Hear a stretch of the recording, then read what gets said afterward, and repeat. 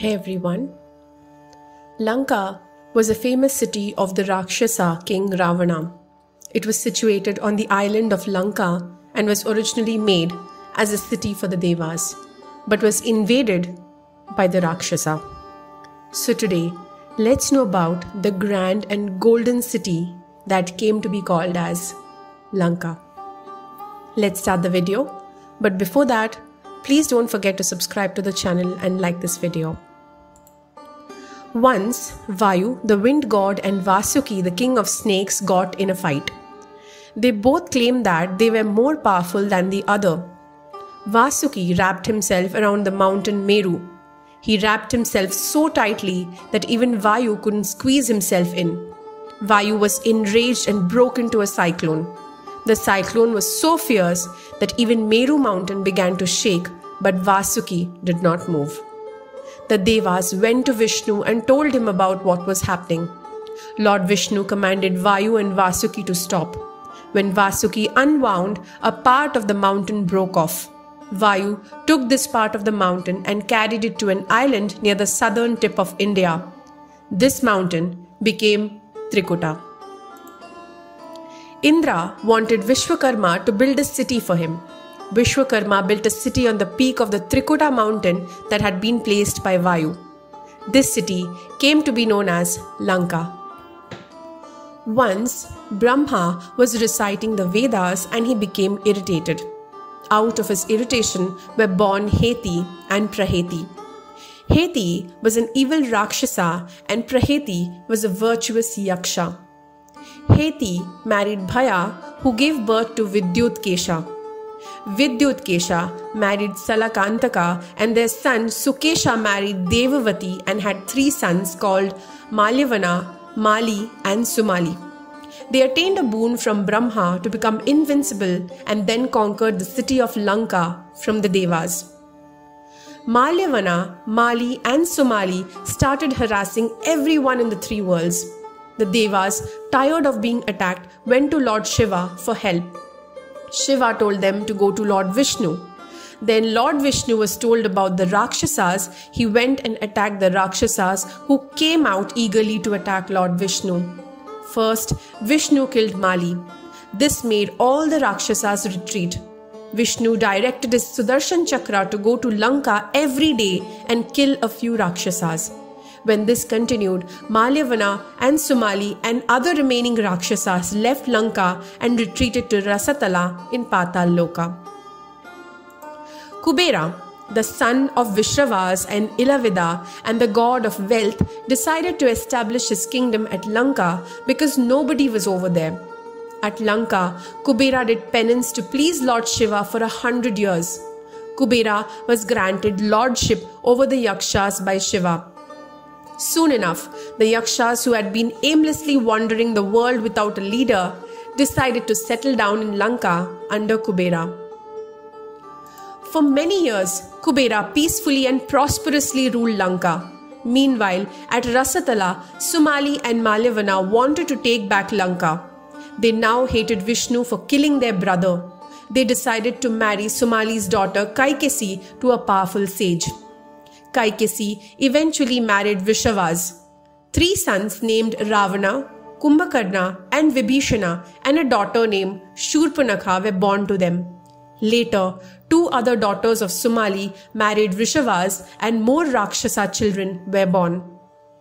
When they grew up, Ravana and his brothers got boons from Brahma that made them very powerful. Brahma also gave Ravana the Devas Amrita and the Pinaka bow. Ravana went to Sumali. Sumali realized how much power Ravana now had, so he put the entire Rakshasa army under Ravana's commander. With their new army, Ravana, his brothers, and half brothers now set off to conquer Lanka. They invaded Lanka and mercilessly killed many. Ravana was about to kill Kubera when Vishravas appeared there. Unwillingly, Kubera left as he was told that Ravana would kill him, so he immediately left. Ravana was a very skilled king. It is said that under his rule, even the poorest families in Lanka had gold vessels, meaning there was no poverty or starvation. But just the small island of Lanka wasn't enough for Ravana. With his boons by his side, Ravana started conquering kingdom after kingdom. The kings of the kingdoms couldn't even stand up to Ravana. Ravana killed the kings, took all their wealth, and captured the women he liked. His empire soon stretched from the southernmost tip of India to Janasthana in present day Maharashtra. But Ravana kept conquering more and more. Ravana's reign of Lanka was also very long. During his reign, great kingdoms of central and northern India came to power and then were destroyed. For example, Ravana was ruling at the time of the Haihaya Empire, Kosala Kingdom, and many others. Ravana's son Meghnada even succeeded in defeating Indra. Meanwhile, Rama was a son of Dashratha, the king of Kosala, and his wife Kaushalya. But Dashratha's second wife Kaikeyi forced Dashratha to send Rama into a 14 year exile and crown her son Bharata the king. Rama, his wife Sita, and Lakshmana were forced to go into exile. Shurpanakha stumbled across the trio during their exile and fell in love with Rama. But her ears and nose were cut off by Lakshmana when she tried to seduce Rama and harass Sita. Shurpanakha went back to Lanka and told her brother what had happened. Ravana decided to capture the beautiful Sita. Having executed his plan, he grabbed Sita and took her to Lanka. Rama had been told by Jatayu that Sita had been taken south to Lanka by Ravana. Rama and Lakshmana started traveling south. Soon they met Hanuman, Sugriv, and all the other Vanaras. Hanuman was sent as a messenger to Ravana. Ravana was enraged by this. He tied up Hanuman and set his tail ablaze. Hanuman slipped out of the rope and started setting the buildings of Lanka on fire. After doing so, Hanuman left Lanka. This fire was soon extinguished, but it left Ravana enraged. Rama and his followers were able to construct a bridge across the sea and reach the island of Lanka. Vibhishana decided to side with Rama because he realized Rama was divine and righteous. Rama, Lakshmana, Hanuman, Sugriv, and their Vanara army besieged Lankapuri. One by one, Ravana sent his relatives First, he sent his army, but it perished. But then sent his brothers, half brothers, sons, and nephews one by one, but they were all killed. Soon, even his son Meghnada, who had defeated Indra himself, died. Demoralized and lonely, Ravana mounted his chariot and prepared to attack Rama's army. Ravana looked frightening with his ten heads and twenty arms. Rama kept firing arrows at Ravana's head, but after every shot, they would grow back. Rama started becoming anxious. He couldn't think of a way to defeat Ravana. Indra, who had been watching the fight from Swarga, ordered his charioteer Matali to go assist Rama.